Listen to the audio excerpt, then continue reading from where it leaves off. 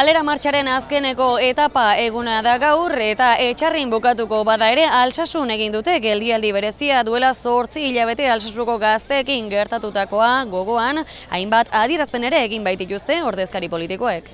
Eta esan behar dugu oso pozik gaudela herri zerri e, martxa honek jaso duen e, harrerarekin. Guk uste dugu gartzelak usteko garaia dela eta ez gartzelak betetzekoa, herri honek ez duela errepresio gehiagorik nahi, ez duela gartzelaratze gehiagorik nahi, herri honek nahi eta merezi duena dela e, bakezko eta justiziazko agertoki bat, eta argi daukagu ere e, agertoko hori posiblea izan dadin ezinbestekoa dela e, preso, ieslari eta deportatu politikorik gabeko gizarte, gizarte bat. E, duela zortzi hilabete hemen altsasun bertan e, gertatutakoak argi uzten du estatuaren estrategia zein den.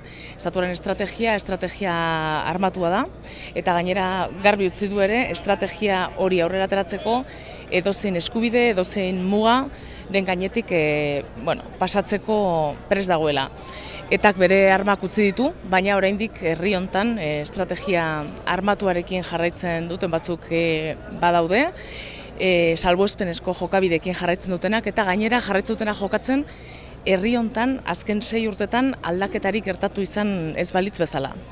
Eta hori guzti zonar gaitza iruditzen zaigu, ez da, ez da bidezkoa eta ez da bideragarria, eta horregatik eskatzen diegu ere indar armatuei Euskal Herritik alde egitea.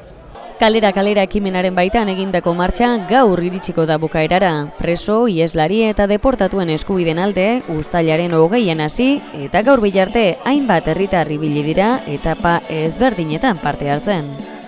Gernikan abiatu eta gaur lakuntzan bukatuko da. Antolatzaileek balorazio ofizialik egin ez badute ere, adirazi dute gutienez eunta berrogeita amar pertsona ibili direla ibilbide osoan zehar, leku batzuetan, lareun eta berrogeita amarra akreditatutik goiti ere izanik.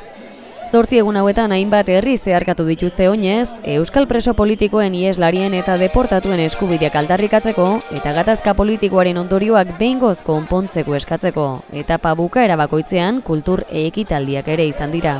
Atortxurro jaialdia astearekin batera emanen zaio bukaera kalera martxari.